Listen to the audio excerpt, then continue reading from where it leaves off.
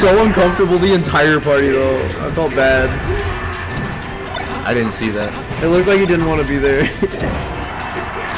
I didn't see that. I feel like you, you're mistaking some of his everyday vibe. Does he always he, like? was, he was Gucci as far as I could tell. Oh, okay, cool, cool. I don't know him that well. I don't know him that well.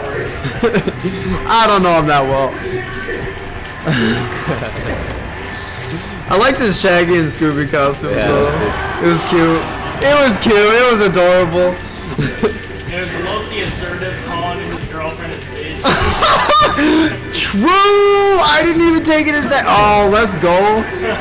Let's go, Johnny Bravo. I need to take inspiration from Johnny Bravo now. Fuck Sylvester and just swallow my cock. Stop. I almost said it last night. And Warrior, what game and is then, and then I decided that was a terrible idea. And I'm like, I can just do this my own way. Sure? 10 seconds. Yeah, whatever. I'll be here. What's the second? 3 -0?